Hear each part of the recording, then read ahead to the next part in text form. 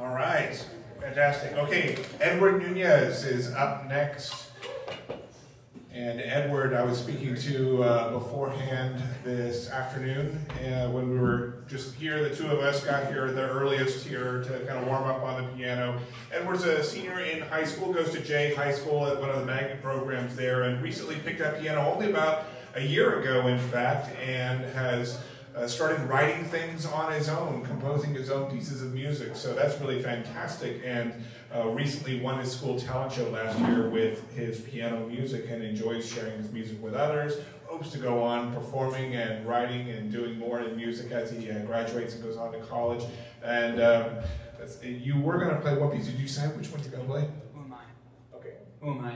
So you're going to play Who Am I? So do, do you have any? Uh, do you have anything you want to say about this since you since you wrote it?